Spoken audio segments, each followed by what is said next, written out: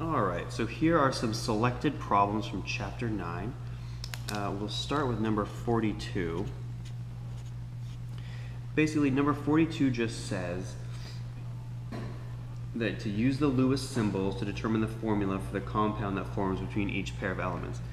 Now, this should look really familiar. It's You've done this before. It's, you know, ionic compounds. Um, it's just now we're adding an extra piece of information to it. So I'll do A, and A is calcium and nitrogen. Right? So calcium's Lewis symbol, there's going to be two dots on it. Nitrogen's is going to have five. Uh, remember that is the valence electrons.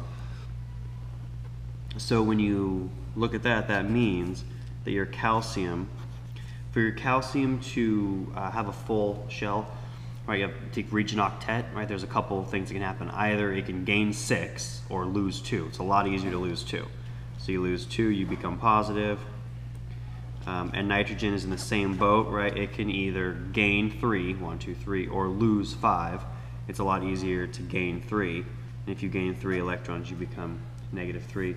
So then if you have a positive 2 and a negative 3, your formula has to be that. All right, next up is number 48. Uh, number 48 is a mess, and so I'm glad I have almost this whole page to do it. So basically, what 48 is saying, it says use the Born-Haber cycle and a bunch of data to calculate the lattice energy for CaO. So C a, O is what we're doing. Um, all right, so basically, can just on one line. The heat of formation is equal to the heat of sublimation plus, and I do all of your ionization energies, and I kind of do it like that, just kind of, right, you're gonna, you're gonna sum them all, so maybe I should put the little sigma in there, but there you have it.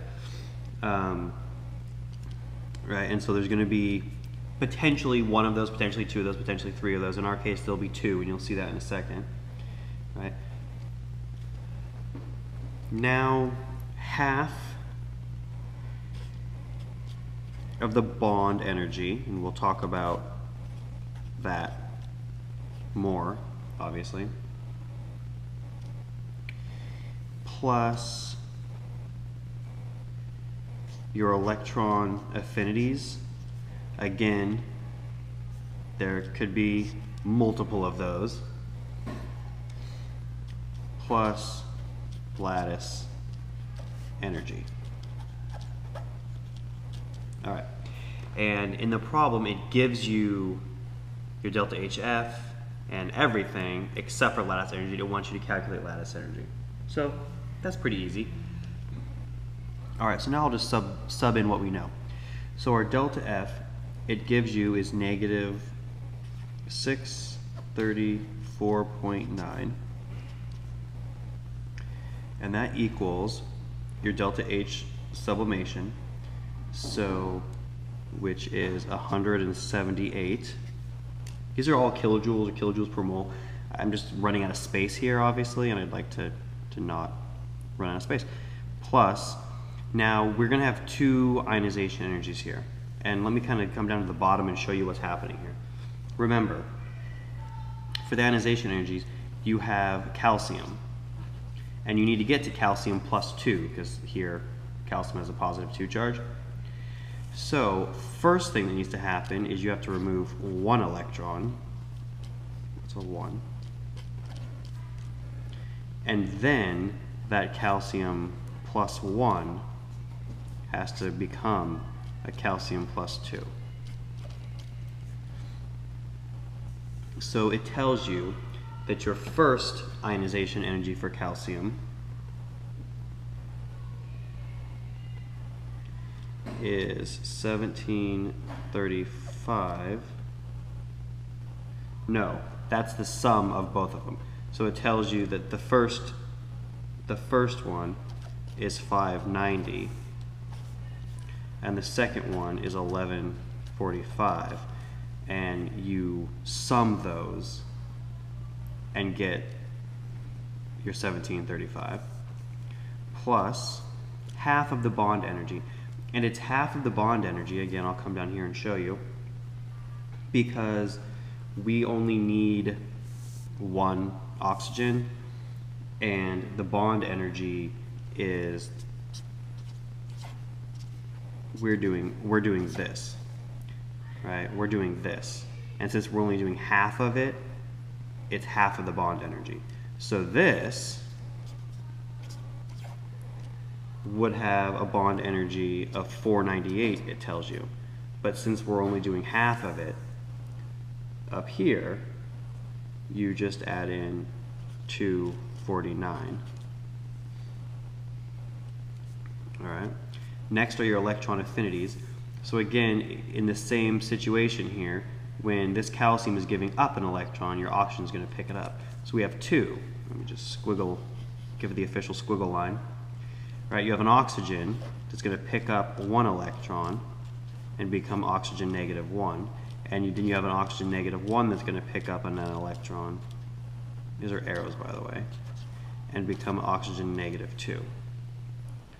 So it tells you in the table that the first one here equals negative 141 and the second one here equals positive 744 so again we'll sum those for our um, activation nope not activation energies our electron affinities. And we'll get positive 603 and then last is just our lattice energy.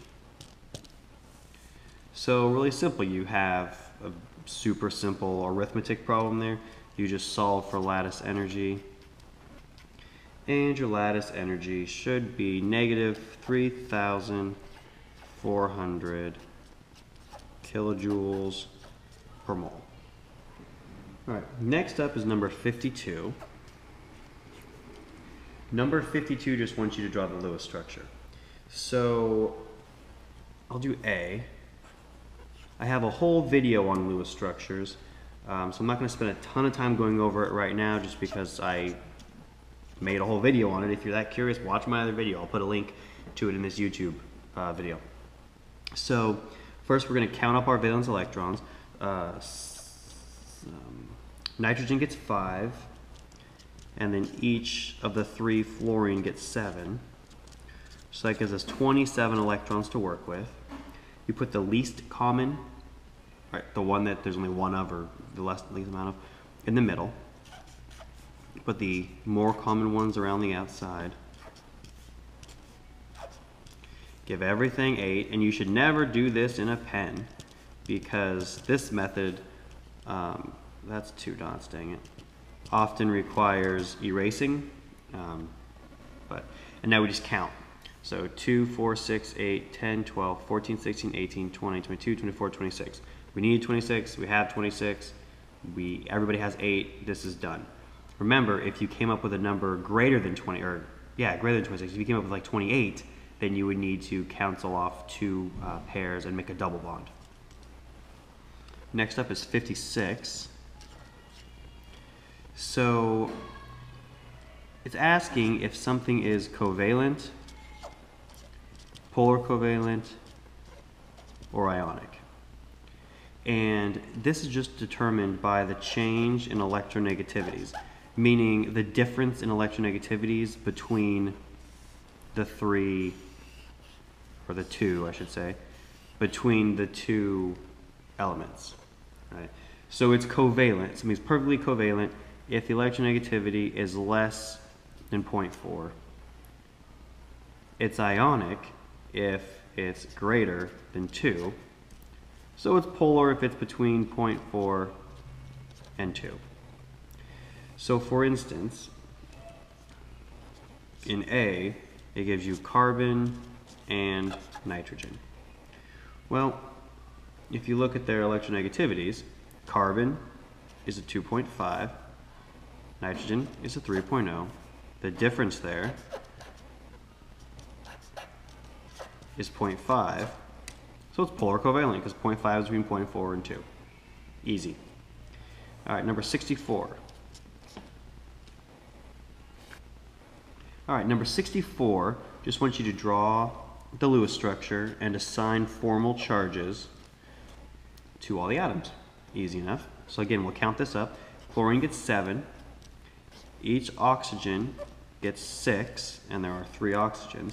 Since you have a negative 1 charge, you add 1. Remember, you add 1 because it's negative charge. Electrons have a negative charge, so if you have more electrons, you have more negative. Don't subtract 1. Somebody will subtract 1, and you'll get it wrong on a test. So you total of 26 electrons. Same thing, again, don't do this in pen.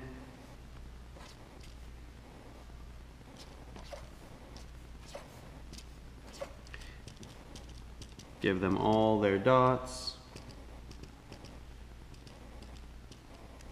Man, I'm struggling with those two dots. That is two dots. You count this all up, you'll get 26. And then remember, since it's a polyatomic anion, uh, it, you do that just to say, hey, we added an electron from somewhere. Now let's do formal charges. Um, let's just call this oxygen 1, oxygen 2, and oxygen 3. So we have oxygen 1, oxygen 2, oxygen 3, and our chlorine. Um, I like to make a little table. You obviously can do whatever you want. So, valence electrons. How many valence electrons do they have? Well, all the oxygens have six, and chlorine has seven. You just look at a periodic table, figure that out. Right?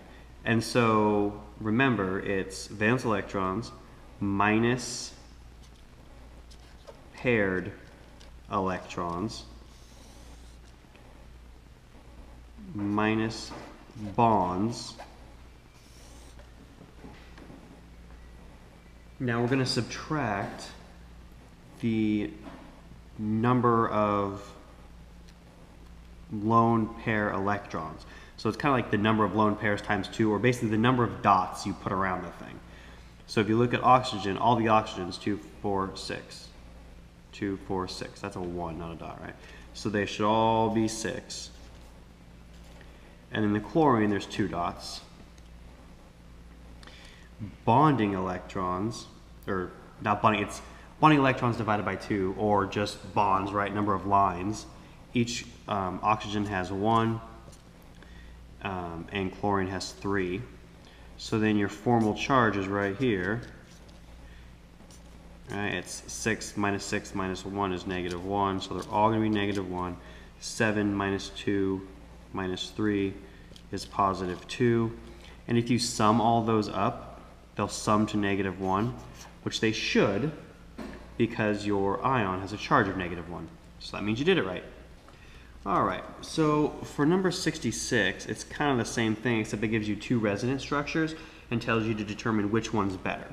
So you have this one. Ugh, anytime I see dots on a carbon, I don't feel good about it. Maybe that should be a hint.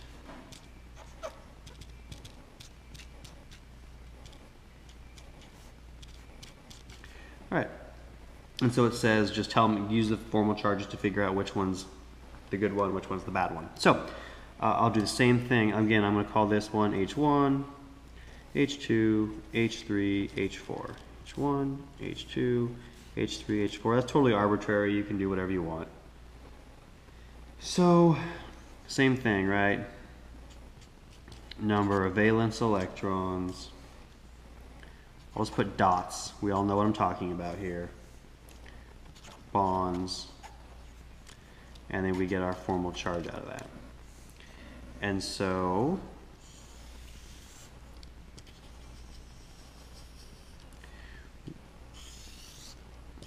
my pen is starting to run a little dry. We have H1. H2. I'm running out of room. H3. H4. S and C. Whew, squeeze it in. And the same thing over here. And I guess all H's are the same, so I'll just stop. Now you need to be careful because there could be situations where all the same element aren't the same. It's just that this is not one of those cases. All right. So over here, all your H's have one valence electron. That doesn't change ever, right? And sulfurs don't have S, they have six. And carbons have four. Now, none of your hydrogens have any dots on them, which is a good sign. Over here, your sulfur also has zero and your carbon has four. And so over here, your sulfur has four and your carbon has zero. Now if we look at bonds, all of your hydrogens have one. Over here, your sulfur has four and your carbon has two. And over here, your sulfur has two and your carbon has four. So we can do this. One minus zero minus one, zero, zero, zero, zero. All your hydrogens end up being zero, so that's good. Sulfur, 6 minus 4 is 2. 4 minus 4 minus 2 is negative 2. 0, 0. So this sums to 0, so that's fine. It's not ideal, but it's fine. But the only thing that beats it is if everything is 0. And since over here everything is 0, that is the winning Lewis structure. All right, last problem, 126. All right, 126 is talking about um, bonds breaking and forming for an endothermic reaction. So remember, your delta H equals broken plus formed. But this is a positive number, and this is a negative number. So it's really broken minus formed, if that makes any sense. So if we want an endothermic reaction, we want a positive delta H. And if we want a positive delta H, then our broken needs to be greater than our formed. Does that make sense? Because if this number is bigger, then thing becomes negative. So A is correct because your positive must be greater than the absolute value of your negative. And that's it.